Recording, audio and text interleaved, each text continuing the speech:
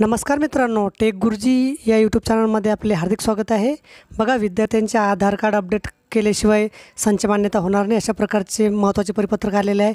आणि त्यामुळे विद्यार्थ्यांचे आधार कार्ड आपल्याला अपडेट करणं आवश्यक आहे. तर त्यातपूर्वी विद्यार्थ्यांचे रिपोर्ट आधार कार्डचे रिपोर्ट पाहणंसुद्धा गरजेचं आहे की आपले विद्यार्थी किती विद्यार्थी बाकी राहिलेले आधार कार्ड अपडेट करायचे.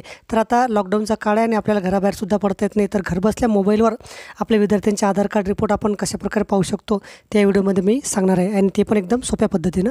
त्यासाठी व्हिडिओ संपूर्ण बघा आणि व्हिडिओ जर शेवटी आवडला तर लाईक करायला काही कसं करू नका. तर चला व्हिडिओ सुरू करूया.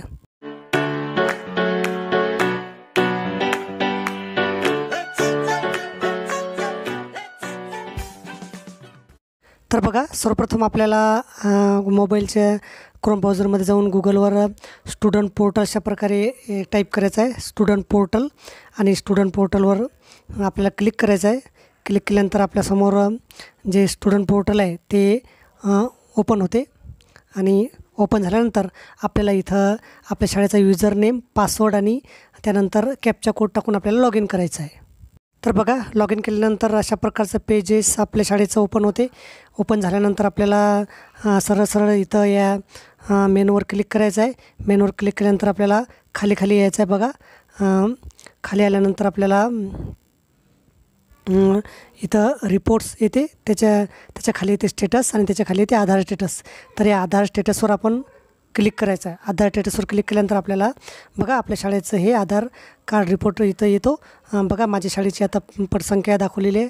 अपलोडेड स्टुडंट आलेले रिमेनिंग स्टुडंट आलेले आहेत. तर आता आपल्याला ती यादी कशाप्रकारे बघायची आहे. वर्गवाईज तर या एवढ्याच कोडवर आपण क्लिक करायचं.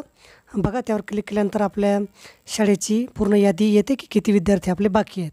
बघा आता माझे वर्ग एक ते सात आहेत तर हे पूर्ण यादी इथं झालेली आहे. आता प्रत्येक वर्गाचे स्टुडंट वाईज आपल्याला जर यादी पाहायची असेल तर या रिमे रिमेनिंग स्टुडंट आणि जे रिमेनिंग स्टुडंटच्या खाली समजा आता पहिला वर्ग इथं दोन आहे तर या दोनवर मी क्लिक केलं तर माझी त्या पहिल्या वर्गाची यादी इथं येईल. ती यादी आपण विद्यार्थ्यांची यादीसुद्धा आपण पाहू शकतो. बघा ही आता माझ्या वर्गाची माझे दोन विद्यार्थी आहेत ते दोन विद्यार्थ्यांची यादी इथं आलेली आहे.